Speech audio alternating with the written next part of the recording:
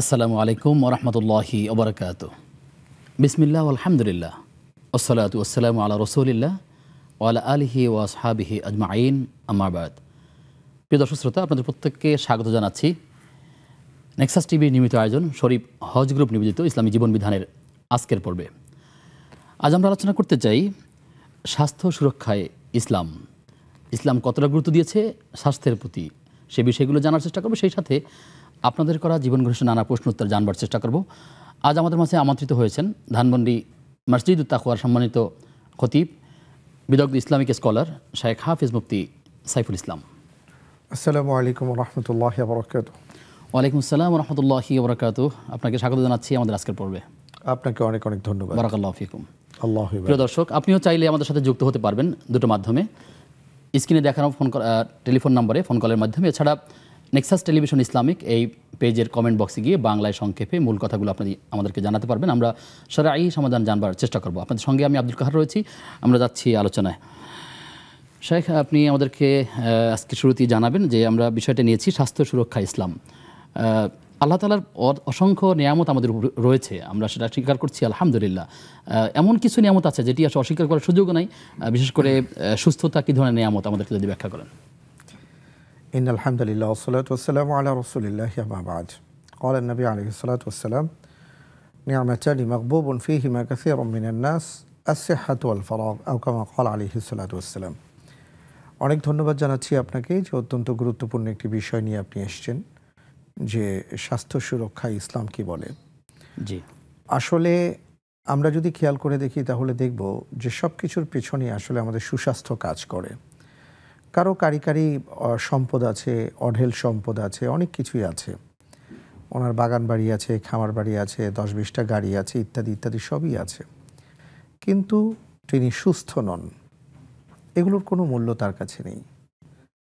ঠিক এমনি করে শুধু আমরা যদি জাগতিক বিষয়গুলো চিন্তা করি তাই না, আমরা যদি পারলৌকিক ব্যাপারটাও দেখি, তাহলেও বিষয়টা এইরকম যে রাসুসাল্লাহ আলী ওয়াসাল্লাম বলেছেন যে একজন দুর্বল ইমানদারের চেয়ে একজন সবল ইমানদার আল্লাহ তালার কাছে বেশি প্রিয়। কারণ স্বাভাবিকভাবেই সুস্থতা এমন একটি নিয়ামত যে সম্পর্কে রাসুসাল্লাহ আলি সাল্লাম বলেছেন যে মানুষকে অসংখ্য নিয়ামত আল্লাহ তালা দান করেছেন তার মধ্যে দুটো নিয়ামতকে মানুষ খুবই অবজ্ঞা অবহেলা করে। একটা হলো অবসর সময় আরেকটা হলো সুস্থতা। কারণ সুস্থতা এমন একটা নিয়ামত এই সুস্থ মানুষ একজন মানুষের জীবন যদি সুস্থ থাকে, তাহলে তিনি অনেক কাজ করতে পারবেন, অনেক ভালো কাজ করতে পারবেন, ইবাদত করতে পারবেন। ওনার জীবনে এবং জীবনের পরের জীবনের জন্য উনি ওনার সুখ সমৃদ্ধির ক্ষেত্রে তিনি যে সকল ইবাদত বন্দিগি বা কাজ, ভালো কাজ করবেন, অসুস্থ অবস্থায় এটা তো করা সম্ভব নয়। তো আপনি যদি খেয়াল করেন তাহলে দেখবেন যে কোরআনুল করিমের বিভিন্ন আয়াত আল্লাহ সুবহানাহু ওয়া তাআলা স্বাস্থ্যের কথা বলেছেন, সুস্বাস্থ্যের কথা বলেছেন। বা আমরা যদি একটু তাকাই তাহলে খেয়াল করব যে আমাদের এই যে যাপিত জীবনের যত উপায় উপকরণ যেটা আল্লাহ সুবহানাহু ওয়া তারা কর্তৃক নির্ধারিত এ সব কিছুই কিন্তু আমাদের সুস্থতার জন্য। এক্সাম্পল স্বরূপ বলতে পারি যেমন আমরা ঘুমিয়ে থাকি। তো এখন মেডিকেল সায়েন্স বলে যে আমরা যখন ঘুমাই তখন আমাদের ব্রেনের মধ্যে এমন কিছু পদার্থ আছে যেগুলো আমাদের জন্য ক্ষতিকর। সেটা আমাদের চোখ দিয়ে বের হয়ে সরে যায়। আল্লাহ সুবহানাহু ওয়া তাআলা বলেছেন ওজা আল্লাহ লাইলা লিবাসা। তিনি আমাদেরকে রাত দান করেছেন আবরণ স্বরূপ। আবার দিনকে দিয়েছেন কাজের জন্য। তো আপনি যদি রাতের বেলা না ঘুমান তাহলে আপনি সুস্থ থাকতে পারবেন না। প্রত্যেকটা ক্ষেত্রেই দেখবেন যে আপনার যাপিত জীবনে যা আছে ফল ফুল আপনি যা পাবেন। এই যে প্রাকৃতিক আমরা প্রত্যেকটা সিজনের একটা নিজস্ব ফল আছে। এই ফল আমাদের স্বাস্থ্যের জন্য উপকারী। ফুল আমাদের স্বাস্থ্যের জন্য উপকারী। গাছের লতা পাতা এমন আছে অনেক কিছুই যে আল্লাহ তালা সৃষ্টি করেছেন আমাদের আমাদের কল্যাণার্থে অর্থাৎ আমাদের সুস্থতার জন্য। জি আমরা এই কথাগুলো আরও জানব দর্শক আছেন আমাদের জি জি। আসসালামু আলাইকুম রহমতুল্লাহ বরকাত দর্শক কে আছেন আমাদের সাথে? ওয়ালাইকুম আসসালাম রহমতুল্লাহ বারাকাতু জি আমি মোসাম্মদ নীলা বলছিলাম পাবনা সদর থেকে। জি বোন প্রশ্ন শুনতে চাই জি। জি আমি দুটো প্রশ্ন করতে চাচ্ছিলাম। হুজুর এই যে আমি শুনেছি কি গোসলের যে একটা দোয়া আছে হচ্ছে নাওয়াইতুয়ান গোসলা রিলাফিল জানাবাতি এটা কি আসলে সঠিক কিনা? আর হচ্ছে হুজুর এই যে হিজনুল মুসলিম বইয়ের এটা কি মানে বিভিন্ন লেখক আছেন নাকি একজনই লেখক? আমরা কোন লেখকের বইটা ফলো করব? ঠিক আছে বোন আপনি থাকুন আমাদের সাথে আমরা জানার চেষ্টা করব ইনশাআল্লাহ তালা আমাদের সাথে আরও জন দর্শক যুক্ত হচ্ছেন দর্শক কে আছেন আমাদের সাথে? আসসালামু আলাইকুম রহমতুল্লাহ। ওয়ালাইকুম আসসালাম রহমতুল্লাহ। ভাইয়া আমার সম্মানিত শেখের কাছে দুটো কোয়েশ্চেন জি। আমার ফার্স্ট কোয়েশ্চেন হচ্ছে যে মৃত হাজবেন্ডের জন্য পবিত্র কোরআনের মধ্যে কি কোনো দোয়া আছে? যে মানে যদি থেকে থাকে তাহলে মানে কোন সুরাত এবং কত নাম্বার আয়াত? প্লিজ বলবেন। আর আচ্ছা। আমার সেকেন্ড কোয়েশ্চেন হচ্ছে যে অসুস্থ মহিলা বয়স্ক অসুস্থ মহিলা কি তায়ামুম করে কোরআন তেলাওয়াত করতে পারবে? স্যার প্লিজ যদি বলতেন। আসসালামু আলাইকুম। ওয়ালাইকুম আসসালাম রহমতুল্লাহ বরকাত আপনি থাকুন আমাদের সাথে আমরা জানব ইনশাআল্লাহ তালা শেখ আমরা প্রশ্নে যাই এরপরে আমরা আলোচনা আবার আসব ইনশাআল্লাহ তালা আমাদের পাবনা থেকে যে বোন নীলা প্রশ্ন করলেন যে গোসলের জন্য বিশেষ করে ফরজ গোসলের জন্য কোনো দোয়া আছে কিনা বা কীভাবে করবেন যদি আপনি আমাদের জানান। তিনি বলেছেন একটা নিয়তের কথাও বলেছেন আসলে এই জাতীয় কোনো নিয়ত কোরআন এবং সুন্নার কোথাও নেই। রসুল সাল্লাহ সাল্লাম কখনো আহ, ফরজ গোসলের ক্ষেত্রে কোনো নিয়ত করেছেন বলে এইভাবে আসেনি। নিয়ত মানে হলো মনের ইচ্ছাটাকেই নিয়ত বলা হয় যে কেউ যখন গোসলের নিয়ত বা অজুর নিয়তে নিয়ত মনে আর কি মানে বোঝাতে চাচ্ছি ইচ্ছায় তিনি যখন অজু করবেন বা গোসল করবেন সেটি তার নিয়তে পর্যবসিত হচ্ছে। আলাদাভাবে নাওয়াইতুয়ান বলে কোনো কিছু করার প্রয়োজন নেই এটা সুন্নার মধ্যে আসেনি। জি। তাহলে কোনো ইবাদতই একটি ইবাদত আছে যেখানে নিয়ত করতে হয় যদি সেটা বলে দেন তাহলে দর্শকদের জন্য ইবাদতের ক্ষেত্রে দুটো জায়গায় আমরা পাই সশব্দে নিয়ত করার কথাটা। একটা হলো সলাতুল সরি একটা হলো তায়ামুমের ক্ষেত্রে যে তিনি যদি তায়ামুম করেন পানি না পেয়ে থাকেন তাহলে তিনি যেই ওয়াক্তের জন্য তায়ামুম করছেন সেই ওয়াক্তের ক্ষেত্রে তিনি সশব্দে বলে নেবেন যে আমি এই ওয়াক্তের জন্য তায়ামুম করছি। এতটুকু। আর আরেকটা হলো হজ ও ওমরার ক্ষেত্রে। আল্লাহ লাব্বাইকা হাজ্জান বা আল্লাহ লাব্বাইকা অমরহতেন এটা সশব্দে বলা। এছাড়া কোনো এ- ইবাদতে নিয়তের এছাড়া প্রয়োজন আমরা কোথাও পাই না আসলে। জি মৌখিক নিয়ত বলতে হয় না। শুক্রিয়া। আমাদের বোনের আরেকটি প্রশ্ন ছিল। তিনি বলছেন হিসনুল মুসলিম এই বইয়ের কোন লেখকের অনুবাদ তিনি পড়বেন? এমন যদি সাজেস্ট করতে পারেন বা আসলে মৌলিকভাবে এটা হিসনুল মুসলিমটা লিখেছেন সাইদ আল কাহতানি রাহিমাহুল্লাহ, যিনি কিছুদিন আগে ইন্তেকাল করেছেন, এটা অনেকেই অনুবাদ করেছেন। এবং আমাদের, আমরা জানি যে দারুস সালাম থেকে অনুদিত হয়েছে এবং বাংলাদেশের অনেক স্বনামধন্য প্রতিষ্ঠানও তারা অনু- অনুবাদ করেছেন। তা আপনি এটা দেখতে পারেন। আসলে এইটা আমি এইভাবে বলতে পারব না, কারণ আমরা মূল লেখকের নামটা জানি, মৌলিকভাবে এই কিতাবটা আমরা ফলো করি। তা আপনি একটু দেখে নেবেন যে ভালো প্রকাশনা হলে তাদের বইগুলো সাধারণত ভালো হয়। এটা একটু খেয়াল করে নিলেই হবে, ইনশাআল্লাহ। আশা করছি তারা জবাব পেয়েছেন। আমাদের পরবর্তী বোন যে প্রশ্ন করলেন যে, মৃত স্বামীর জন্য কোনো দোয়া এমন দোয়াগুলো কোরআনে আছে কিনা? আসলে কোরআনে থাকা জরুরি কিনা বা হাদিসে থাকলে হবে কিনা যদি আপনি বলেন প্রথমত আমি যেটা বলব যে, আল্লাহ সুবহানাহু তাআলা এমন অনেকগুলো দোয়া আমাদেরকে শিক্ষা দিয়েছেন। সেটা শুধুমাত্র একজন ব্যক্তিকে ইন্ডিকেট করিয়ে নয়, বরং কোরআনুল কারিম আমাদেরকে যেটা বলেছে, সেটা হলো আমাদের যত স্বজনেরা চলে গেছেন, অথবা যাদেরকে আমরা চিনি না, কিন্তু আমাদের রক্তের ধারা আছে অথবা ইমানের সম্পর্ক ছিল, ইমানের সম্পর্কে আমরা সম্পর্কিত। তাদের সকলের ক্ষেত্রেই আল্লাহ সুবহানাহু ওয়া তাআলা দোয়া শিক্ষা দিয়েছেন। সেটা হলো সোরাতুল হাসরের দশ নম্বর আয়াত, রব্বানা উফিল্লানা ওয়ালি ইখওয়ানিনা আল্লাযীনা সাবাকুনা বিল ঈমান ওয়ালা তাজআল ফি কুলুবিনা গিল্লাল লিল্লাযীনা আমানু, রব্বানা ইন্নাকা রাউফুর রাহিম। এই আয়াতে কারিমাতে আল্লাহ তাআলা আমাদেরকে জানিয়ে দিয়েছেন যে, তোমরা বলো, হে আল্লাহ, আমাদেরকে ক্ষমা করে দিন এবং আমাদের ওই সকল ভাইদেরকে, ভাই বলতে সামগ্রিকভাবে দিন, দিনই ভাই হিসেবে বলা হয়েছে যে ওই সকল ভাইদেরকেও আপনি ক্ষমা করে দিন, যারা আমাদের আগে চলে গেছেন। এই যে যারা আমাদের আগে চলে গেছেন, এটার মধ্যে এই কথাটা আছে। আর এরপরেও রসুল সাল্লাহ আলী সাল্লামের শেখানো ভাষায় দোয়া আছে আল্লাহ মাকফিল্লাহু মকফিল্লাহু ওয়ারহামহু আফু আনহু আকরিম নজুলাহু বিমা ইসাল জুয়াল বারাদ। আল্লাহ নাকিহি মিনা দুনুব কামায়ুনাক্কা সৌবুল আবিয়াদু মিনাদ দানাস যার মোটা দাগে আমরা অর্থ এইভাবে বলতে পারি যে, হে আল্লাহ, আপনি তাকে ক্ষমা করে দিন। আপনি তার উপর রহম করুন, অনুগ্রহ নাজিল করুন। এবং আপনি তার গুণাখাতা দূর করে দিন এবং আপনি কাপড় যেভাবে ধুলে পানি যেভাবে ময়লা পরিষ্কার করে দেয় আপনি ঠিক এইভাবে তার থেকে গুণাকে পরিষ্কার করে দিন। এইভাবে তার জন্য দোয়া করেন জি ইনশাল্লাহ তারা দর্শক আছেন যুক্ত করে নেব। প্রিয় দর্শক কে আছেন আমাদের সাথে? আসসালামু আলাইকুম। আমি পাবনা শ্যামনগর থেকে স্মৃতি বলছি। জি বোন। আমার প্রশ্ন। ফরজ নামাজে দোয়া মাসুরার পরে আমি সংক্ষিপ্ত করে দোয়াগুলো বলতেছি সাহেব অবশ্যই বুঝতে পারবেন। এটা একটা দোয়া। আল্লাহুম্মা আল্লাহ যিকরিকা ওয়া শুকরিকা, এটা একটা দোয়া। আল্লাহুম্মা ইন্নি আউযু বিকা মিন আযাবিল কবরি, আরেকটা দোয়া, রব্বিল হামহুমা কামা রব্বায়ানি সগিরা। এগুলো কি একটা পর একটা পড়তে পারব? মানে সবগুলো দোয়া একত্রে।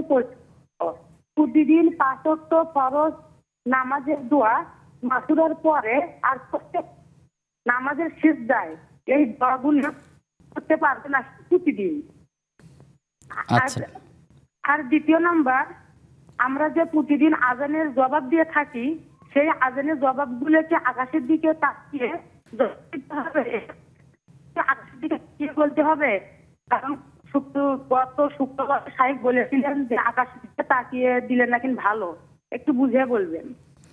ঠিক আছে বোন আপনি থাকুন আমাদের সাথে আমরা জানার চেষ্টা করব ইনশাল্লাহ তালা আমাদের সাথে ইতিমধ্যে আরও একজন দর্শক যুক্ত হচ্ছেন দর্শক কে আছেন? আসসালামু আলাইকুম রহমতুল্লাহ। ওয়ালাইকুম আসসালাম রহমতুল্লাহ। হুজুর আমি পাবনা সুজানগর থেকে আব্দুল জব্বার বলছিলাম। জি আব্দুল জব্বার ভাই। হুজুর আমার সংক্ষিপ্ত চারটি প্রশ্ন আছে সংক্ষিপ্ত। জি জি। আমার প্রথম প্রশ্ন হলো যে, বর্তমানে এসআই পদে সারা বাংলাদেশে লোক নিয়োগ দিচ্ছে, আমার ছেলে অ্যাপ্লাই করতে চাচ্ছে, কিন্তু এতে তো অনেক ঘুষ চাচ্ছে এখন ঘুষ ছাড়া তো চাকরি হয় না। ঘুষ চাচ্ছে ঘুষ ছাড়া চাকরি হয় না। এখন আমি কি করতে পারি? এক নম্বর। আর দুই নম্বর, আমি প্রতি শুক্রবারে মসজিদে কোরআন, হাদিস সম্বন্ধে কিছু কথাবার্তা বলি। কিন্তু আমার ছোটবেলাতে পাঞ্জাবি, পায়জামা পরাটার অভ্যেস নাই।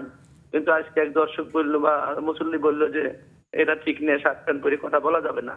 এ বিষয়ে বলবেন। আর আজকে আমরা যে বিষয় সুস্থ একজন লোক যদি সুস্থ থাকে তার যদি সচ্ছলতা থাকে আর্থিক, সে বসে খাওয়ায় কি তার কোনো সমস্যা আছে কিনা? আর শেষ প্রশ্নটা হচ্ছে, হুজুর, ঋণ নেওয়া। একজনের কোটি কোটি টাকা ইচ্ছা করেই ঋণ নেয়। তো আমাদের নবী করিম সাল্লাল্লাহু ঋণ গ্রস্ত যে ঋণ গ্র- গৃহীত তো জানা যায় যাচ্ছেন না, কিন্তু অনেকে ইচ্ছা করেই ঋণ নেয়। তাদের বেলায় যারা অভাবে পড়ে নেয় তাদের এক কথা। আর যারা ইচ্ছা করে নেয়, তাদের বিষয়ে একটু জানাবেন। আচ্ছা আগের প্রশ্নটা একটু বলবেন যে। সুস্থ থাকে যে সচ্ছলতায় তিনি বসে বসে খান এই বিষয়টা যদি একটু ক্লিয়ার করেন এখানে কি বলছিলেন? সুস্থ থাকাটা বলতেছি যে একজন সুস্থ আছে। সুস্থ কিন্তু তার আমরা সময় এটা পার করতেছে বসে কিন্তু তার তো সচ্ছলতা আছে। কারণ সে বসে বসে সময় পার করতে পারবে কিনা নামাজ কালাম পড়বে আর বসে থাকবে। এরকম কোনো অপশন আছে কিনা সেটা জানতে চাই আচ্ছা ঠিক আছে ঠিক আছে। আমরা প্রশ্ন বুঝতে পেরেছি আপনি থাকুন আমাদের সাথে আমরা জানব ইনশাল্লাহ তালা শেখ এর আগে আমাদের এক বোনের প্রশ্ন রয়ে গেছে। তিনি বলছিলেন যে অসুস্থ এক মহিলার কথা বলেছেন। তিনি তাই তাইমুম করে সালাত আদায় করার ক্ষেত্রে প্রশ্ন জানতে জানতে চাচ্ছেন যে আসলে তিনি করতে পারেন কিনা। তিনি কতটা অসুস্থ হলে পরে আসলে যদি তিনি পানি ব্যবহারে যদি তিনি এক কথায় বলি যে যদি তিনি পানি ব্যবহারে পানি ব্যবহারে যদি অক্ষম হন বা ডাক্তার যদি ওনাকে নিষেধ করেন যে উনি পানি ব্যবহার করলে ওনার জন্য ক্ষতির আশঙ্কা আছে তাহলে তিনি তেমন করবেন। আরেকটা হলো যদি পানি না পাওয়া যায় তাহলে তিনি তেমন করবেন।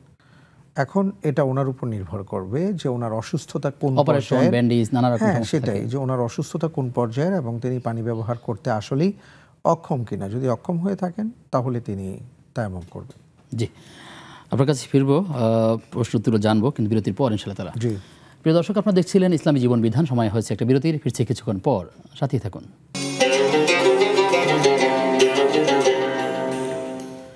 বিরতির পরে সবাইকে আবার স্বাগত জানাচ্ছি নেক্সাস টিভির নিয়মিত আয়োজন ইসলামী জীবন বিধানের আজকের পর্বে। আপনাদের সঙ্গে রয়েছি আমি আব্দুল কাহার আর আমাদের সঙ্গে রয়েছেন শায়েখ হাফিজ মুফতি সাইফুল ইসলাম। শেখ আমাদের কাছে প্রশ্ন আছে। আমাদের শ্যামপুর থেকে প্রশ্ন করেছিলেন আমাদের এক বোন যে তিনি প্রত্যেক সলাতে, ফরজ নামাজে বেশ কয়েকটা দোয়ার কথা বলেছেন। এটি তিনি সালাম ফেরানোর আগে এটা পড়তে পারেন কিনা বা সাজদাতে বা নামাজের পরে কি বিষয় আছে তিনি যেই দোয়াগুলোর কথা উল্লেখ করেছেন, তিনি যদি ইচ্ছে করেন তাহলে সালাম ফিরাবার আগে অথবা সিজদাতে এই দোয়াগুলো পড়তে পারবেন ইনশাআল্লাহ তাআলা। ইনশাআল্লাহ তাআলা। আহ, আমাদের কাছে প্রশ্ন করেছেন যে আজানের জবাব যখন দিবেন তখন কি আকাশের দিকে তাকিয়ে জবাবগুলো দিতে হবে নাকি আসলে জবাব দেওয়ার পদ্ধতিটা কি? আচ্ছা সম্ভবত তিনি অজুর কথা উল্লেখ করেছেন। অজুর ব্যাপারে আমার যতটুকু মনে পড়ে তিনি অজুর কথাটা মনে হয় বলেছেন। সেটা হলো যে রাসুসাহ আল্লাহ আলাইসাল্লামের বর্ণনা আছে যে আপনি অজু শেষ করে যখন কিছু দোয়া পড়বেন এবং এই দোয়াগুলো পড়ার পরে আল্লাহ তালা আঙ্গুল তুলে দেখো। জি ইশারা করে। তো এটা কেউ বলেছেন ইশারা কেউ বলেছেন যে আকাশের দিকে তাকিয়ে। এটা মুস্তাহাব। এটা খুব আর কি আমি বলব যে খুব গুরুত্বপূর্ণ সুন্না বা এমন কিছু নয়। এটা করতে পারলে ভালো না করলে সমস্যা নেই। কিন্তু দোয়াটা পড়ার কথা উল্লেখ করা হয়েছে। তিনটি হাদিস গ্রন্থে আমরা তিনটা দোয়া পাই। আল্লাহম্মা জানলি মিনাত তওয়াবিন ও জানলি মিনাল মুতাতাখিরিন। একটা একটা হলো সুবহানাক আল্লাহুম্মা বিহামদিক আশহাদু আল্লা ইলাহা ইল্লা আনতা আস্তাগফিরুকা ওয়া আতুবু ইলাইক। আর একটা হলো আশহাদু আল্লা ইলাহা ইল্লাল্লাহু ওয়াহদাহু লা শারীকা লাহু লাহুল মুলকু ওয়া লাহুল হামদু ওয়া আলা কুল্লি শাইইন কাদির জি। সম্পর্ক এই বিষয়ে জানতে চাই আমরা মসজিদে অনেক সময় দেখি যে উজুখানায় একজন সে উজু করে তে আকাশ খোঁজার জন্য বারান্দায় দাঁড়িয়ে হাত তুলে অথচ জামাত চলছে রুকু চলে যাচ্ছে। না এই জাতীয় কোনো কাজই তিনি করবেন না বরং ওনার অজু শেষ উনি দোয়াটা পড়বেন।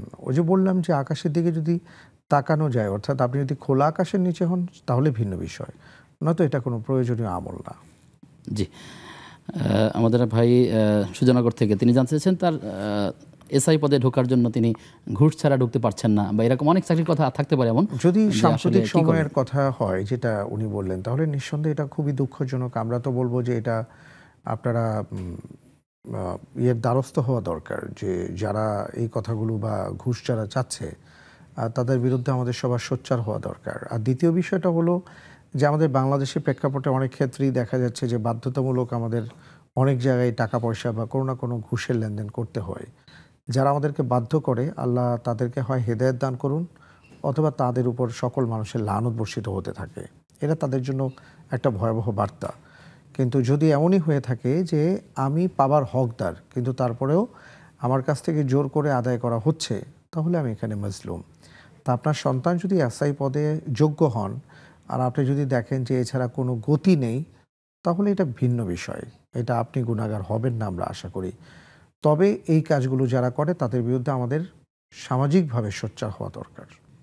এই ঘুষ থেকে বের হয়ে আসতে হবে। দেশের সকল প্রতিষ্ঠানে বা সকল পদে চাকরির জন্য ঘুষ দিতে হয় বিষয়টি আসলে এমনও নয়। তিনি বিকল্প ট্রাই করতে পারবেন সেই পরামর্শ দিবেন কিনা? বিকল্প ট্রাই আমরা পরামর্শ দিব তবে এই জায়গাটা তো আমাদের এই ক্ষতটাকে ঠিক করতে হবে। জি জি অবশ্যই। কেন আপনার কি পুলিশের দরকার নেই? পুলিশের তো দরকার আছে। তো একজন সৎ মানুষ যদি এখানে আসতে চান তাকে যদি ঘুষ দিয়ে আসতে হয় তাহলে শুরুতেই তো তাকে অসৎ বানিয়ে দেওয়া হচ্ছে। সুতরাং আমরা বলব যে এই ব্যাপারগুলোতে খুব কঠিনভাবে আমাদের সবার সোচ্চার হওয়া দরকার। দেখা দরকার। জি শুক্রিয়া আপনাকে। আমাদের ভাই একই সাথে আরও কিছু প্রশ্ন করেছেন। তার তিনি বলেছেন যে শুক্রবারে তিনি মসজিদে কিছু আলোচনা রাখেন। তিনি দশ যেখানে মুসলিরা বলেছেন তাকে লেবাসে একটু টুপিওয়ালা বা একটু লম্বা জামা পরা দরকার কিন্তু শার্ট প্যান্ট পরে এরকম লেকচারে না দেওয়া এখানে ড্রেসের গুরুত্বটা যদি আপনি বলেন আসলে কি প্রভাব পড়ে মানুষের মাঝে?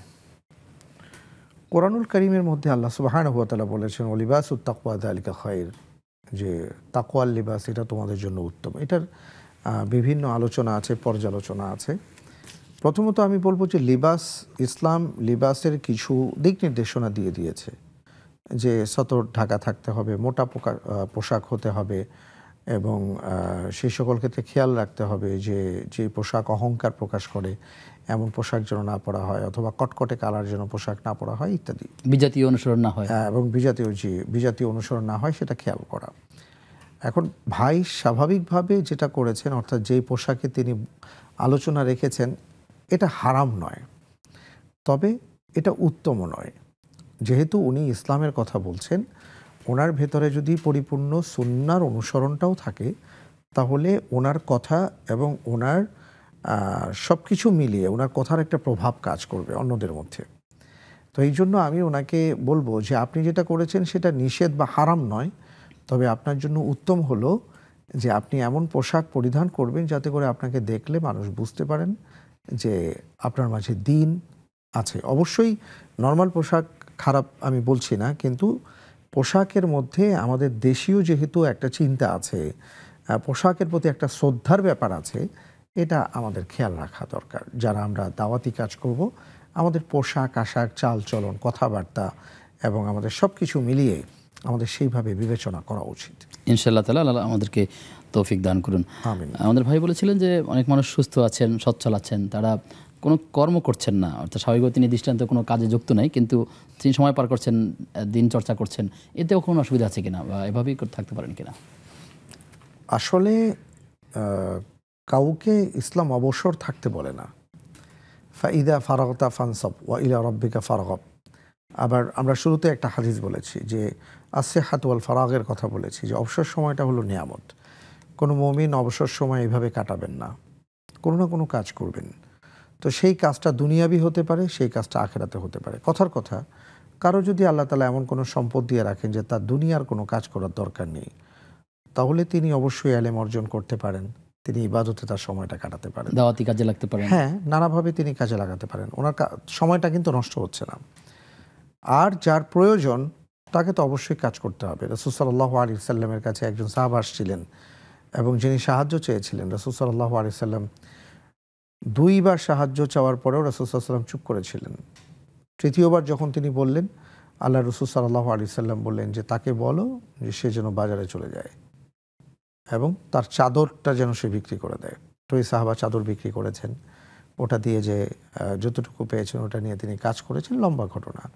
তো মূল ব্যাপারটা হলো যে আল্লাহ রসুল সাল্লাহ আলী ইসলাম এটা পছন্দ করেন নাই যে কেউ এইভাবে বেকার থাকবে। কোনো না কোনো কাজ আমাদের করতে হবে। হয় দুনিয়াবি কাজ করে আমার সময়টাকে ক্ষেপণ করে অর্জন করতে হবে ভালো কাজে ব্যয় করার জন্য অথবা আখেরাতের জন্য আমার অর্জন করতে হবে। জি অবশ্যই। আমাদের দর্শক আছেন। দর্শক কে আছেন আমাদের সাথে? আসসালামু আলাইকুম। আসসালামু আলাইকুম। দর্শক শুনতে পাচ্ছেন? জি ওয়ালাইকুম আসসালাম। হ্যাঁ। আমরা শুনতে পাচ্ছি আপনার প্রশ্ন শুনতে চাই। আমার প্রশ্ন হচ্ছে হিসনুল মুসলিম বইটা এটা কি কোনো প্রকাশনী বা কোনো লেখক মানে যারটা ভালো হবে নির্ভরযোগ্য হবে এটা একটু জানতে চাচ্ছি। আমরা এর আগেও জি জি। জি আরেকটা আরও প্রশ্ন আছে হুজুর বলি। রাসুল সাল্লাহ আলাইসলাম বলেছেন সোমবার এবং বৃহস্পতিবারে তার আমল নামা আল্লাহর কাছে পেশ করা হয়। আমাদেরও কি তাই? যদি আমার আর এরকম হয় যদি তাহলে বিশেষ করে শুক্রবারেই বেশি বেশি আমল করার কথা নির্দেশনা আছে এটা একটু বুঝিয়ে বলবেন। ঠিক আছে হচ্ছে আমরা আরেকটা প্রশ্ন আছে। আমরা অনেক সময় কাজের চাপে ময়লা থালা বাসন প্লেট এগুলো রেখে দিই। এটা রেখে দেওয়াটা কি ইসলামিক দৃষ্টিতে খারাপ কিছু? এটা আর কি জানতে চাচ্ছি। আচ্ছা ঠিক আছে আমরা জানার চেষ্টা করব ইনশাল্লাহ তালা। হিস্তুল মুসলিম কোন প্রকাশনী না ভালো? আমরা এটা আগে একটা ধারণা দেওয়ার চেষ্টা করেছি। তারপরেও আপনি চাইলে তাওহিদ প্রকাশনী কিংবা আহ, আহ, আহসান প্রকাশনী থেকে আপনি যোগাযোগ করে দেখতে পারেন ইনশাল্লাহ তালা। শেখ আপনার কাছে আমরা আবার আসলাম। আমাদের ভাই সুজানগর থেকে প্রশ্ন করেছিলেন যে অনেক মানুষ ইচ্ছা করে ঋণ নেয়। তো এই ঋণ নেওয়া সম্পর্কে কি হুঁশিয়ারি আছে এবং কার ক্ষেত্রে নেওয়া উচিত এবং ঋণের পদ্ধতি কি হবে? প্রথমত যারা ঋণ নিচ্ছেন তাদেরকে ইসলাম বলেছে যে তুমি পারতপক্ষে ঋণ নিও না। একান্ত প্রয়োজন না হলে তুমি ঋণটা নিও না। কেন? কারণ এই ঋণ তোমার জন্য এমন একটা দায় যে তোমার যদি এই অবস্থায় মৃত্যু হয়ে যায় তাহলে সেই ঋণ পরিশোধ না করা পর্যন্ত তোমার, তোমাকে কবরস্থ এবং তোমাকে জানাজা পড়ানোর যে ব্যাপার, এটা ঝুলে থাকবে। এটা আপনি জানেন। রাসুল সাল্লাহ আলাইসাল্লাম ঋণগ্রস্ত ব্যক্তির ক্ষেত্রে তিনি জানাজা পড়াতেন না। তিনি বলতেন যে হাল্লাহুদাইন যদি এমন হতো যে তার কোনো ঋণ আছে, তখন বলতেন, সল্লু আলা আখিকুম। তোমরা তোমাদের ভাইদের জানাজা সালাত পড়াও। তিনি পড়াতেন না। এটা খুব গুরুত্বপূর্ণ।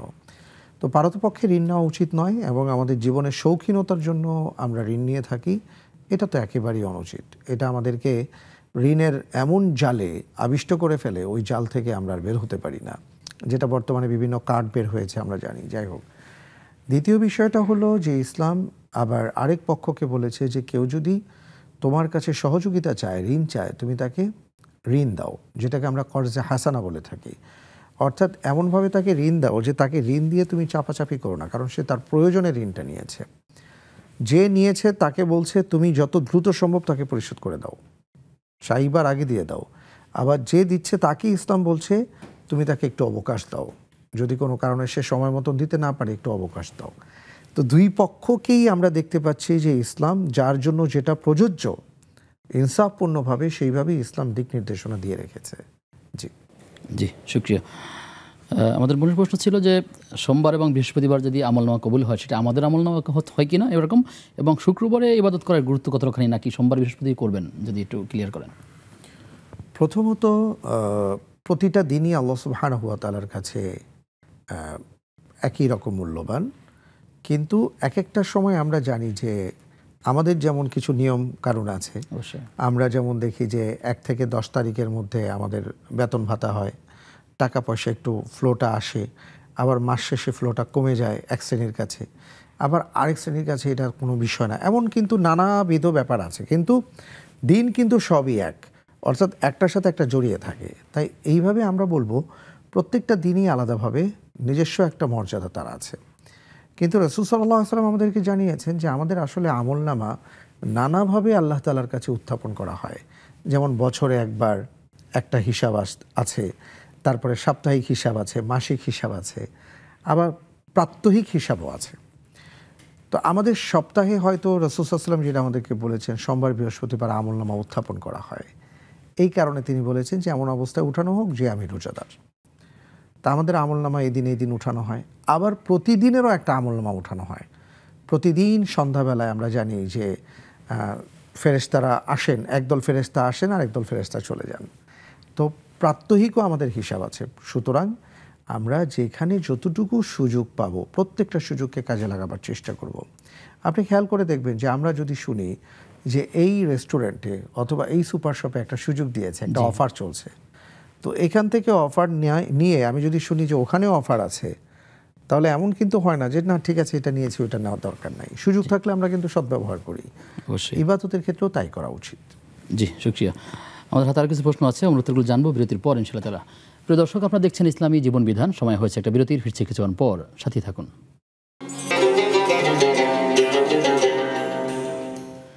বিরতির পরে সবাইকে আবারও আমন্ত্রণ জানাচ্ছি। নেক্সাস টিভি নিয়মিত আয়োজন। শরীফ হজ গ্রুপ নিবেদিত ইসলামী জীবন বিধানের আজকের পর্বে। আমাদের আজকের অতিথি শেখ হাফিজ মুফতি সাইফুল ইসলাম। শেখ অনলাইনে আমাদের কাছে প্রশ্ন রেখেছেন নাজনীন ফারিন এই আইডি থেকে অভাব থেকে রক্ষা পাওয়ার দোয়া জানতে চেয়েছেন। অনেক অনেক ধন্যবাদ। রসুল সাল্লাহ আলিয়াল্লাম অভাব থেকে রক্ষা পাওয়ার জন্য তিনি নিজে দোয়া পড়েছেন যে হে আল্লাহ আমি আপনার কাছ থেকে অভাবমুক্ত জীবন চাই। এবং তিনি আল্লাহ সুবাহানুয়াতালার কাছে এইভাবে দোয়া করে বলতেন যে, হে আল্লাহ, আমাকে এমন দারিদ্রতা দেবেন না, দরিদ্রতা দেবেন না, যে কারণে আমি আপনাকে ভুলে যাই। আবার এমন আর কি ধনাঢ্যতা দিবেন না, যে কারণে আমি আপনাকে ভুলে যাই। কি চমৎকার একটা বিষয়। অর্থাৎ আমাদের জীবনে যতটুকু প্রয়োজন, আমরা সেই প্রয়োজন যেন পূরণ করতে পারি, সেই ব্যবস্থা আপনি আমাকে করে দেবেন। তো এই জন্য আর কি অভাব থেকে আল্লাহ সুবহানাহু ওয়া তাআলার কাছে পানা চাওয়া এটাও সুন্না এবং এই ক্ষেত্রে আল্লাহ রব্বুল আলমিনের কাছে আপনি আপনার নিজের ভাষায় দোয়া করবেন যে, হে আল্লাহ, আপনি আমাকে অভাবমুক্ত জীবন দান করেন। আর এই ক্ষেত্রে সুরা কোরাইশের কথা আমরা বলতে পারি যে, আল্লাহ রব্বুল আলমিন অভাবমুক্ত জীবনের একটা সার্টিফিকেট দিয়েছেন যদি আমরা একটা কাজ ঠিক মতন করতে পারি। তিনি বলেছেন, ফালিয়াবুদু রব্বা হাদ আল বাইত তারা যেন এই ঘরের মালিকের গোলামি করে ঠিক মতন। তাহলে কি হবে? আল্লাদি আত আমাহুমিন জোর ও আমানহুমিন খৌফ তাহলে আল্লাহ তালা এর বিনিময়ে তাকে অভাবমুক্ত জীবন দান করবেন এবং নিরাপত্তার জীবন দান করবেন শঙ্কামুক্ত জীবন দান করবেন। আল্লাহর কাছে ফিরে যেতে হবে আমাদেরকে। অবশ্যই নাদিন ফারিন তিনি আরেকটা প্রশ্ন রেখেছেন যে একদমই চলাফেরা করতে পারে না অক্ষম একটু নিজের কাজটা নিজে করলে করার বিনিময়ে তার কি আমল হবে বা কি সব হবে? চলাফেরা করতে পারেন না। যদি চলাফেরা একান্ত করতে না পারেন, কিন্তু সেই ক্ষেত্রে তিনি চেষ্টা করে করে যদি নিজের কাজটা নিজে করার চেষ্টা করেন, আল্লাহ তালা দেখছেন তার অবস্থা। তিনি চেষ্টা করছেন, ফাত্তাকুল্লাহ মাস্তাতম এই চেষ্টারও তিনি একটা সাদাকা পাবেন। এবং একজন মানুষ যখন অসুস্থ হন, রসুল সাল্লাহ আলিয়াল্লাম বলেছেন যে, আল্লাহ তালা তার বান্দাদেরকে এত ভালোবাসেন যে আমাদের জীবনে কারও যদি একটা কাটা ফুটে এটার বিনিময়ে আল্লাহ তালা তার গুণা মাফ করেন তাকে একটা করেন। তো এই ক্ষেত্রে কেউ যখন অসুস্থ হয়ে পরীক্ষার জীবন যাপন করেন এটারও তার জন্য প্রতিদান আছে আল্লাহ তালার পক্ষ থেকে ইনশাআল্লাহ। টেলিফোনে দর্শক আছেন। দর্শক কে আছেন? আসসালামু আলাইকুম রহমতুল্লাহ। আসসালামু আলাইকুম। ওয়ালাইকুম আসসালাম রহমতুল্লাহ। কেউ থেকে? নাজমুন্নার নাজমুন নাহার বোন আমার প্রশ্ন। প্রশ্ন ছিল জি। আমার প্রথম প্রশ্ন হচ্ছে আমরা যে কাপড় ধোয়ার সময় ওই যে বিসমিল্লা বলে যে কাপড় ধুই ওই পানি আবার উঁচু করার সময় অনেক সময় দেখা যায় যে বালতির ভিতরে আমরা হাত পা ধোয়ার পানিকে বালতির ভিতরে পরে। ওই পানিকে কি কমোডের ভিতরে ঢালা যাবে? আর দ্বিতীয় প্রশ্ন হচ্ছে যে সুরা নাসরের দ্বিতীয় আয়াত যে জানা সুরুল্লাহ ফাত ওরাই টান না হইবে না ওরাই টান না হইবে এই দুইটা প্রশ্ন। আচ্ছা ঠিক আছে বোন আপনি থাকুন আমাদের সাথে আমরা জানবার চেষ্টা করব ইনশাআল্লাহ তালা আমাদের হাতে প্রশ্ন আছে। আমাদের বোন এর আগে প্রশ্ন করেছিলেন যে কাজের চাপে কখনো বেসিনের ভিতরে যদি ময়লা থালা বাসন রেখে দেন এটি যে সময় ক্ষেপণ হয় এতে কোনো গুণা কিনা বা এটা আসলে পরবর্তীতে এটা আসলে উচিত কাজ নয়। এটা একদিকে যেমন আমরা জানি যে স্বাস্থ্যগত যেমন ঝুঁকি থাকে ঠিক এমনি করে ইসলামও এটা পছন্দ করে না। নিয়ম হলো আমার যখন কোনো কিছু ময়লা হবে বা কোনো কিছু ব্যবহার করা হবে এটাকে পুনরায় ব্যবহার করার জন্য আমার যা করার দরকার আমি খুব দ্রুত করে রেখে দেব। কারণ এই এই কাজটা করার ফলে যেটা হবে এখান থেকে যেমন আজকে তো আমরা স্বাস্থ্য নিয়ে কথা বলছিলাম। জি জি অবশ্যই। এটার মধ্যে কিন্তু বিষয়টা আছে যে নানাভাবে এটা সংক্রমিত হতে পারে এখান থেকে সংক্রমণ ছড়িয়ে পড়তে পারে। এই জন্য আমরা যা দেখব যেমন আমাদের থালা বাসন হ্যাঁ থালা বাসন যা আছে এগুলোকে আমরা খুব দ্রুত ধুয়ে ফেলার চেষ্টা করব এবং ইসলাম এটা পছন্দ করে। আর আরেকটা বিষয় হলো যে আমাদের খাবারের যেটা ঝুটা আছে সেটা আমরা যত্রতত্র ফেলব না যেভাবে যেভাবে নষ্ট করব না। বরং এটাকেও আমরা কাজে লাগাতে পারি। কখনো হয়তো কাক খেতে পারে বিড়াল খেতে পারে অথবা এমন যেমন হাড়ের ব্যাপারে বলা হয়েছে এগুলোকে পানি না দেওয়া। হাড়কে সেইভাবে রেখে। জি সেইভাবে আমরা এমন জায়গায় ফেলব এমন জায়গায় রাখব যে এইখান থেকে যে যে পশুর খাদ্য আছে তারা যেন তাদের রিজিক নিতে পারে। আর একটা কথা না বললে নয় যেটা হাদিস দ্বারা প্রমাণিত রসুলাম বলেছেন যে আমরা খেয়ে যা রেখে দেই এখান থেকে আবার জিন্নাতরা খাবার খায়। সুতরাং আমরা এদিকে যেন খেয়াল রাখি। জি দর্শক আছেন। প্রিয় দর্শক কে আছেন? আসসালামু আলাইকুম। আসসালামু আলাইকুম। ওয়ালাইকুম আসসালাম রহমতুল্লাহ। আমার দুইটা প্রশ্ন জি। সেখানে হচ্ছে নামাজে দেখা করে তারপরে নামাজ পড়ে মানে তারা বলে যে কিবলাটা বেকা বেকা আছে। তো বাঁকা করে যেমন হচ্ছে নামাজ পড়ে কি নামাজ পড়ে? আর দ্বিতীয় প্রশ্ন হচ্ছে, নামাজে কোথাও যদি ভুল হয়, তাহলে তো তার সাহুদে সংখ্যা দিতে আর যদি তার সাহুদে ভুল হয়, তাহলে আমরা কি করব? আচ্ছা ঠিক আছে। আমরা প্রশ্ন পেয়েছি, আমরা জানবার চেষ্টা করব ইনশাআল্লাহ তালা আমাদের আগে নাজমুন নাহার বোন, তিনি প্রশ্ন করেছিলেন যে কাপড় ধোয়ার সময় তিনি বিসমিল্লা পরে থাকেন। আবার এই পানির অবশিষ্ট কিছু অংশ বালতিতে পড়েন। এটি আসলে ব্যবহৃত পানি হিসেবে গণ্য হবে কিনা নাকি পবিত্র হিসেবে গণ্য হবে যদি জানান দেন আমাদেরকে। পানিটি সে শারীরিকভাবে ফেলবেন হ্যাঁ, আমরা যেটা বুঝতে পেরেছি সেটা হলো প্রথমত কাপড় ধোয়ার সময় তিনি বিসমিল্লা বলে কাপড় ধোন এটা ভালো। এবং কাপড় ধোয়ার যে পানিটা আছে এই পানিটা অনেক সময় ওনারা রেখে দেন এবং এটা দিয়ে হয়তো পা ধোন নর্মালি। আবার চাইলে এটা ফেলেও দেন। তো ফেলে দেওয়ার ক্ষেত্রে যদি কোমরের মধ্যে ফেলে দেন এটা ফেলে দিতে পারবেন, সমস্যা নেই। এটা কোনো প্রবলেম হবে না। আর অজু করার সময় যদি কিছু পানি ছিটা ফোটা বা নানাভাবে পানিটা হয়তো বালতিতে গেল, এটা মায়ে মুস্তামাল, ব্যবহৃত পানি হিসাবেই এটা ধর্তব্য হবে। তবে এটা সরাসরি কোমরে না ফেলাটা ভালো, কারণ এটা অজুর পানি ছিল। আলাদা একটা বিষয় আছে। এটাকে নর্মালি ফেলুন, কিন্তু বাকি পানিগুলো আপনি হয়তো কোমর পরিষ্কার করার ক্ষেত্রে ইউজ করতে পারেন। জি, অবশ্যই। আহ, বোনের একটা প্রশ্ন ছিল সুরে নসরের দ্বিতীয় আয়াত আপনারা আহ, কিভাবে পড়বেন জানতে চাইছেন যদি আপনি শুধু সুরে নসরটা তেলাওয়াত করেন জি। আমাদের ভাইদের জন্য বন্ধুদের জন্য জি ইদা جاء نصر الله والفتح ورأيت الناس يدخلون في دين الله أفواجا فسبح بحمد ربك واستغفر إنه كان توابا জি শুক্রিয়া আপনাকে আহ, ইয়াসিন আরাফাত মুবিন এই আইডি থেকে তিনি জানতে চাইছেন যে আহ, অনেক হুজুর বলে থাকেন যে আব্দুল কাদের জিলানি গাউসে পাকের মুরিদ হবেন বা এরকম তবা না করে মৃত্যুবরণ করবেন না। আমরা কি আব্দুল কাদের জিলানি মুরিদ হতে পারব কিনা? আসলে এই বিষয়টি নিয়ে অনেক প্রশ্ন আছে। আপনি যদি আমাদেরকে সঠিক একটা ধারণা দেন এখান থেকে। প্রথমত বলব, কোরআনুল কারিমের মধ্যে আল্লাহ তালা বলেছেন, ইন্নাকা মাইয়েতু ওয়া ইন্নাহু মাইয়েতুন। আরেক জায়গায় বলা হয়েছে, ইন্নাকা লা তুসমা আল মাউতা ওলা তুসমা সুম্মা দোয়া মূল কথা হলো, হে নবী, আপনি মৃত্যুবরণ করবেন এবং তারাও মৃত্যুবরণ করবে। আরেক জায়গায় বলা হয়েছে যে, আপনি মৃতদেরকে কোনো কিছু শোনাতে পারবেন না, কারণ তারা শুনতে পায় না, তারা বধির হাদিসের মধ্যে আসছে, একজন মানুষ যখন ইন্তেকাল করেন, তখন তিনি কি দুনিয়ার মানুষের প্রতি খেয়াল করতে পারেন? আল্লাহ নবী বলেন যে, একজন মৃত ব্যক্তির অবস্থাটা হলো ডুবন্ত ব্যক্তির মতন। যে ডুবে যাচ্ছে, সাঁতার জানে না, বেঁচে থাকার জন্য সামনে যা কিছু আছে, সেটাকেই অবলম্বন হিসাবে টিকে থাকার সে চেষ্টা করছে। একজন মানুষ যখন ইন্তেকাল করেন তিনি সেই অবস্থাতে থাকেন। এটা হলো সার্বিক ব্যাপার। এরপরে আল্লাহ তালা যারা প্রিয় বান্দা ইন্তেকাল করেছেন, তারা আলহামদুলিল্লাহ লিনে আছেন, ভালো অবস্থায় আছেন। কিন্তু তারা আমাদের জন্য কোনো কিছু করতে পারেন না। আর দ্বিতীয় বিষয়টা হলো, যারা চলে গেছেন, তাদের মুরিদ হবার আসলে কোনো প্রশ্ন আসে না। কারণ মুরিদ মানি হলো যাকে পথ দেখানো হয়। আর আমরা পীর মানি জানি যিনি শিক্ষক, তাকে পীর বলা হয়। বয়োবৃদ্ধ ব্যক্তিকে জ্ঞানবৃদ্ধ, বয়োবৃদ্ধ ব্যক্তিকে মূলত পীর বলা হয়। এখন এমন একজন শিক্ষক আপনি নির্ধারণ করলেন যিনি পৃথিবীতেই নেই এবং তিনি আপনাকে কোনো দিক নির্দেশনা দিতে পারছেন না, তাহলে কীভাবে আপনি তার আর কি মুরিদ হবেন?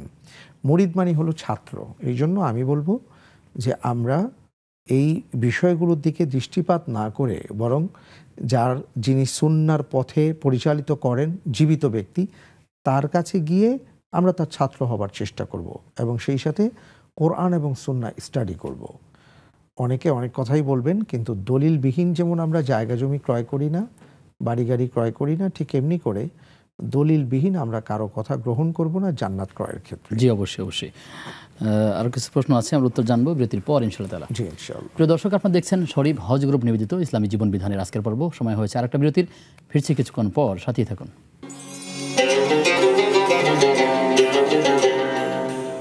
বিরতির পরে সবাইকে আবার স্বাগত জানাচ্ছি। নেক্সাস টিভির নিয়মিত আয়োজন, ইসলামী জীবন বিধানের আজকের পর্বে। আমাদের আজকের অতিথি হাফিজ মুফতি সাইফুল ইসলাম। শেখ, আমার কাছে প্রশ্ন আছে। আমাদের বোন এর আগে জানতে চেয়েছিলেন যে, নামাজে যদি ভুল হয়, তাহলে তিনি জানেন যে তাসাউদে গিয়ে সহসদের মাধ্যমে ঠিক করতে হয়। কিন্তু যদি তাসাউদে ভুল হয়ে যায়, তাহলে তিনি কি করবেন? তাশাহুদের আসলে ভুলের ব্যাপারটা তো, কেমন ভুল ঠিক আমি জানি না। কিন্তু এখানে নামাজের মধ্যে যে প্রথম বৈঠকটা প্রথম বৈঠকটা মূলত ওয়াজিব শেষ বৈঠকটা ফরজ। আরেকটা হলো বৈঠকে তাসাহুদ পরিমাণ সময় ক্ষেপণ করা এটাও অনেকের মতে ওয়াজিব। এখন তাসাহুদে যদি কেউ ভুল করে ফেলেন তো ওই যে বললাম যে ভুলের যেই বিষয়টা এটা হলো একটা বিষয়। কারও কারও মতে তাসাহুদ পড়াটা এটা হলো সুন্না কেউ বলেছেন ওয়াজিব। তো যাদের মতে এটা ওয়াজিব যদি তাশাহুদে ভুল করে ফেলা হয়, তাহলে তিনি সহসেজদা দেবেন। আর যাদের মতে সুন্না, তাদের মতে যে এটা সোর্সেসটা আসবে না। নামাজের কিছু মৌলিক নীতিমালা আছে, নিয়ম আছে, সেটা আমাদের ফলো করতে হবে। যেমন, নামাজে ফরজ আছে। যেগুলো ফরজ, ফরজগুলো যদি কেউ ইচ্ছাকৃতভাবে ভুল করেন অথবা অনিচ্ছাকৃতভাবে ভুল করেন, ওনার নামাজটা নতুন করে পড়তে হবে। জি। নামাজের মধ্যে যে বিষয়গুলো আছে ওয়াজিব, সে ওয়াজিবগুলো যদি কেউ ইচ্ছাকৃতভাবে ভুল করেন, তাহলে নামাজ নতুন করে পড়তে হবে। কিন্তু অনিচ্ছাকৃত যদি ভুল হয়, তাহলে সৌসেজদার মাধ্যমে নামাজ আদায় হয়ে যাবে। আমরা জানি যে সৌসেজদাটা একেবারে নামাজের শেষেই দিতে হয়। ওয়াজিব একাধিক ভুল হলেও একটা সৌসেজদাই সমস্ত ওয়াজিবের ভুলগুলোকে শুধরে নেবে। এছাড়া যেটা সুন্না বা নফল বা মুস্তাহাব আছে, এই ক্ষেত্রে যদি ভুল করেন, ভুল হয়, তাহলে কোনো সহসেজদা নেই। এই মৌলিক নীতিমালাটা আমরা ফলো করলে সহজেই আমরা সালাতে বুঝতে পারব যে আমার কোন ধরনের ভুল হয়েছে। জি শুক্রিয়া। বারাকাল্লাহ। আর একটা প্রশ্ন পেয়েছি আমরা আংশিক বুঝতে পেরেছি যতটুকুন যে নামাজের মধ্যে যে কেবলার দিকে থাকবেন সেখানে যদি আংশিক একটু বাঁকা হয় অথবা যেখানে দাঁড়িয়ে আছেন যে মুসাল্লাতে সেটা যদি একটু সামান্য বাঁকা হয়ে থাকে সেক্ষেত্রে সালাত হবে কি না বা এই বিষয়ে যদি একটু ক্লিয়ার করেন। জি ধন্যবাদ। একটা হলো যে আমরা জানি যে আমরা যে কোন বরাবর সালাত আদায় করি এটা তো একেবারে সরাসরি কাবা বরাবর হয় না। আর কি কাবার দিকে মুখ করি কিন্তু আসলে এটা তো আমাদের এখান থেকে প্রায় কয়েক হাজার মাইল দূরে। তো সুতরাং একেবারে হুবহু সরাসরি মিলবে ব্যাপারটা এমন নয়। তো কিছু আমাদের কোন এদিক সেদিক হয়ে যায়। খেয়াল রাখতে হবে সেই কোন পরিবর্তনটা যেন এমন না হয় যে স্পষ্ট পঁয়তাল্লিশ ডিগ্রির ভিতরে যদি এরকম পঁয়তাল্লিশ ডিগ্রির মধ্যে যদি থাকে তাহলে ইনশাল্লাহ হয়ে যাবে। জি মারিয়া চৌধুরী তিনি তার এই আইডি থেকে লিখেছেন যে ফজরের নামাজের সময় আয়াতাল কুরসি পড়ার পর তিন কুল পড়া যাবে কিনা? ফজরের নামাজের সময় যদি আয়াতুল কুরসি পড়েন এটা কি নামাজের ভেতরে? না তিনি বলছেন ফজরের নামাজের সময় তিনি আর এটা ভেতরে আর বাইরে উল্লেখ করেননি। আচ্ছা আমরা দুইভাবেই ধরে নিচ্ছি যে আপনি হয়তো নামাজের ভেতরেই আয়াতুল কুরসি পড়লেন এরপরে আবার তিন কুল পড়লেন। অসুবিধা নাই। আর যদি নামাজের পরে পড়েন ওটাও সমস্যা নাই। কিন্তু সুন্না হলো নামাজের পরে যদি আপনি তাসবিহ হিসাবে পড়তে চান তাহলে আয়াতুল কুরসি রসুলাম পড়েছেন। আর এই তিন কুল পড়েছেন রাত্রে ঘুমাবার আগে। জি। জি। রোকেয়া আক্তার তিনি তার এই আইডি থেকে জানতে চেয়েছেন যে হুজুর আমার প্রশ্ন হলো কোরআনের আয়াত দোয়া হিসাবে পড়ার সময় কি এক আলিফ বা তিন আলিফ বা চার আলিফ যে টেনে পড়ার নিয়ম আছে সেটা কি সেভাবেই পড়তে হবে নাকি কীভাবে পড়তে হবে? না এটা জরুরি নয়। আপনি যখন দোয়া হিসেবে পড়বেন তখন আপনি আপনার মতন করে পড়বেন। তবে অবশ্যই যেখানে তিন আলিফ আছে, সেখানে ন্যূনতম এক আলিফ আপনাকে টানতেই হবে, নয়তো অর্থ বিগড়ে যেতে পারে। জি। শুক্রিয়া। শেখ আফিফ আলী এই আইডি থেকে প্রশ্ন করেছেন যে অনেক স্কুল কলেজ রয়েছে এমন যেগুলোতে নির্দিষ্ট সময়ের মধ্যে বেতন ফি প্রদান না করলে প্রতিদিন কিছু পরিমাণ টাকা জরিমানা হিসাবে নেওয়া হয়। এটা নেওয়া ইসলামের দৃষ্টিতে ঠিক আছে কিনা? অনেক ধন্যবাদ। বিষয়টা হলো যে প্রথমত এটা আমাদের অনেক সময় নিয়ম তান্ত্রিকতা বা শৃঙ্খলা রক্ষার্থে কখনো কখনো কোথাও কোথাও এই ধরনের নিয়ম দেখা যায়। যদি এই ধরনের নিয়ম আসে এবং আপনি যদি এখানে একমত পোষণ করেন তাহলে এটাকে সরাসরি হারাম বলার অবকাশ নেই, তবে এটা উত্তম নয়। এটা উচিত, কারণ যিনি দেরি করেছেন তার কারণ থাকতে পারে। তো সেই কারণ দর্শানোর ব্যাপার আছে এখানে অনেকগুলো ব্যাপার আছে। তো মূল কথা আমি যেটা বলতে চাই যে এটা একদিক থেকে আপনি পজিটিভলি চিন্তা করুন যে আপনার ভালোর জন্য এটা করেছেন। হ্যাঁ। আরেক দিক থেকে আবার যারা এই আইনগুলো করেছেন তাদের ক্ষেত্রে এটা চিন্তা করা উচিত যেহেতু এই অর্থের মধ্যে মানুষের সম্মতিটা নেই বা কিছুটা অসন্তোষ আছে সুতরাং এটা পরবর্তীতে ফেরত দেওয়াটাই তার জন্য অবশ্যই কল্যাণকর। অবশ্যই। দর্শক আছেন। প্রিয় দর্শক কে আছেন? আসসালামু আলাইকুম। আসসালাম। প্রশ্ন। জি মন প্রশ্ন শুনতে চাই জি। হুজুর আমার ছেলে এই যে ঢাকা ড্যামরা থেকে ছুটি করে যায়। ওইখানে ছুটির পাঁচটা বেজে যায়। পাঁচটা আট মানুষ করে বের হয়।